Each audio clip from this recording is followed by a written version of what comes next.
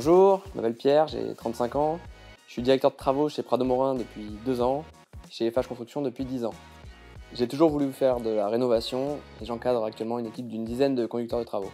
J'aime les challenges que propose Prado Morin, liés aux travaux haut de gamme et à la conservation du patrimoine. Nous travaillons d'ailleurs avec des techniques anciennes. Mon travail et mes activités quotidiennes sont très variées. J'ai une très grande autonomie, je gère mes chantiers comme une petite entreprise avec mes équipes et c'est ça qui me motive.